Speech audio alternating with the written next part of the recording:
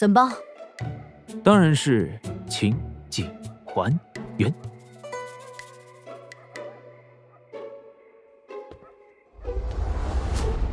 上菜吧。上菜喽！菜来嘞！小二，我的菜怎么这么久了还没上啊？客官您稍等，马上就好。客官，您的冷碟。好嘞，好嘞。哎，来嘞！哎。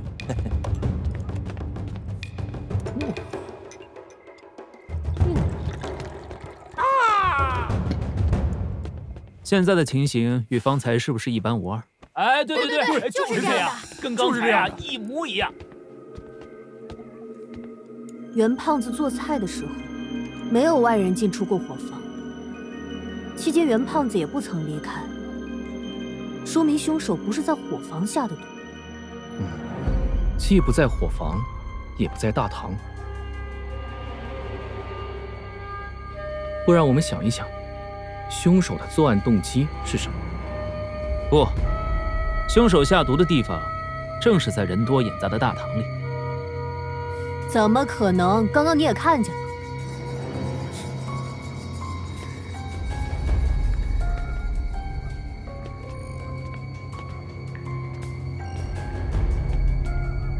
陆兄看似胸有成竹。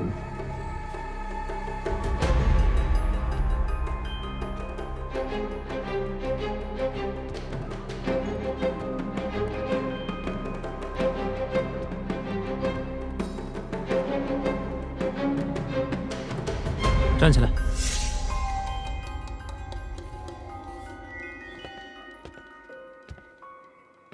把手伸出来。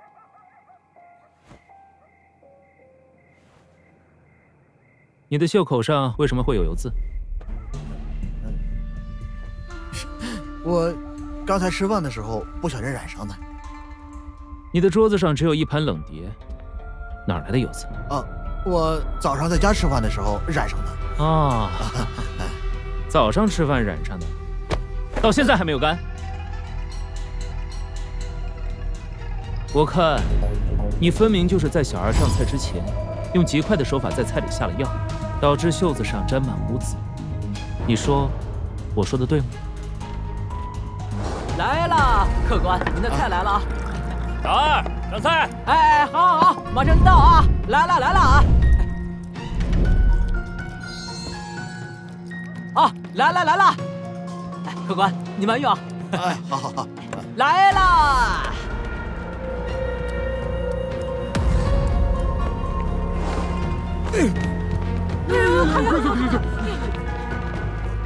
我没有下毒，这油渍，兴许是小儿上菜时泼洒在我衣袖上。对，就如此。你手臂粗壮，手茧极厚，虎背熊腰。而且头发上还有一粒麦麸。如果我没猜错的话，你应该是个苦力，而且是霍战的苦力。是又怎么样？周彪在信州城的身份，正是南东霍战的苦力。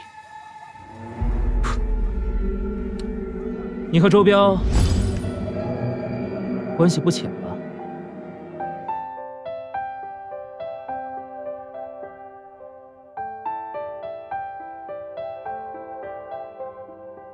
最近常常被问到儿时的梦想，笑着想起年少的自己了不起的模样。